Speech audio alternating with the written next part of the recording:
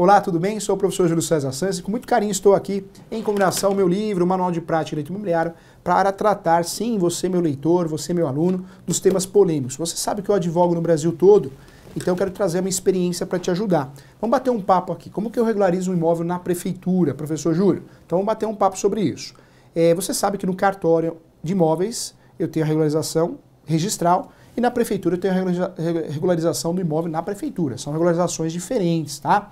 É importante você saber que é, é perfeitamente possível ter um imóvel regular na prefeitura e, e meu imóvel está regular no cartório. E vice-versa. O ideal é que esteja regular nos dois, né, nos dois órgãos, departamentos, nome que você quiser utilizar. Quando eu falo na prefeitura, como que eu faço essa regularização? É, existe a regularização do imóvel que vai ser construído, de construção, e existe a regularização do imóvel já construído, tá? Para você é, conseguir regularizar na prefeitura, é importante que você tenha um contrato de compra e venda na mão, ou uma escritura pública, ou até o registro mesmo, melhor ainda. Aí você vai na prefeitura, procure ligar antes. Ah, grandes prefeituras, né? grandes não, né? Eu falo grandes porque essas prefeituras das metrópoles, elas são é, uma verdadeira indústria, né? Porque tem o quê? Tem as suas secretarias. É, normalmente a prefeitura não dá conta e delega. Então, por isso, grandes prefeituras.